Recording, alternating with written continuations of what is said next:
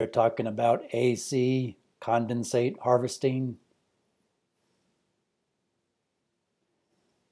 So an average size home air conditioner will produce an average of 20 gallons plus or minus of condensate per day, uh, depending on how long the unit runs and the humidity level in the ambient air. Uh, humid climate zones obviously will produce more AC condensate than drier climate zones. Uh, one word of caution, older air conditioning units may have evaporative coils that were soldered together with lead-based solder. There are lead test strip kits you can buy to test the, the solder joints on your coils. Uh, there's even some that are designed to test water. So the condensate drain water that's coming out of your, your, your air conditioning unit, you can test that uh, condensate water to see if it contains lead or not if you're concerned about that. Some key notes. Uh, a general rule of thumb is that 0.1 to 0.3 gallons of condensate is produced every hour. Uh, condensate drain water can be used for potable purposes after proper treatment. Uh, condensate drain water is similar to distilled water. Uh, suspended solids are low.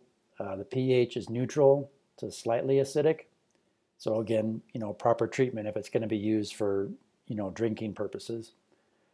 Uh, it is also obviously important then to keep the air conditioning equipment clean, free of debris, bacteria, dust, dirt, etc.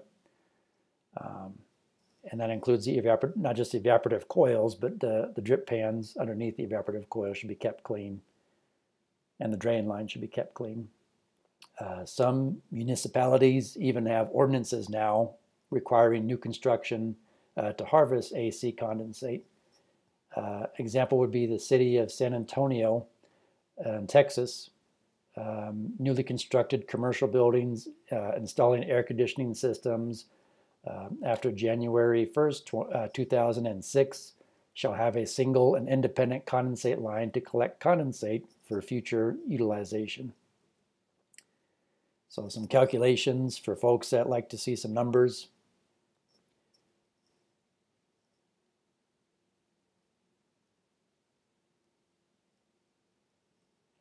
So a real world example would be the HEB Grocery uh, Distribution Center. And this information was from 2003. Uh, they collected the condensate from air handlers and refrigeration systems throughout their facility.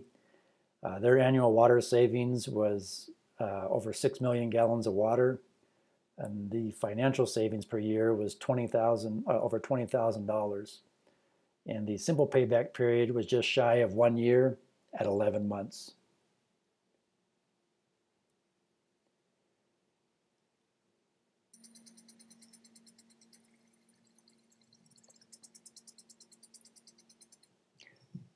So that video clip right here is water that was collected from AC condensate uh, from the drain line on my own personal property and we used it to water the grass here in our backyard.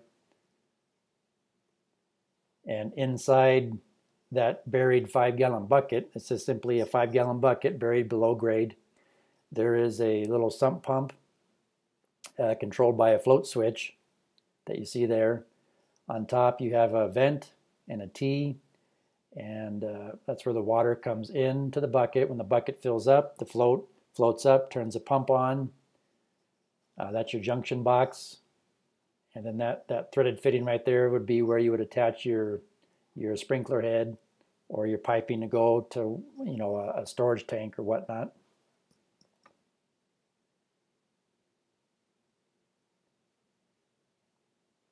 And this is a little bit better view of that system that I designed and installed. So this actually solved two problems. Number one, it reduced our water bill and allowed us to water the grass during hot, dry periods. Um, but when the air conditioning was running, we would end up with this big puddle of water there in our backyard. By installing this system, that eliminated that puddle of water. Um, so you can see it's a very simple system. You have an AC unit. You can connect your condensate drain line uh, to a, a below grade collection vessel. Uh, that vessel needs to have a vent.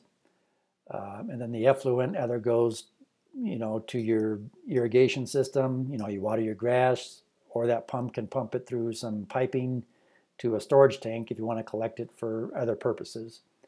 And it just plugs into a, a 120 volt GFCI receptacle.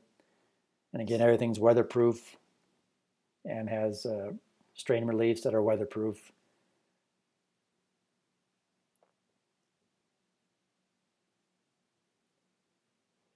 Thank you for watching.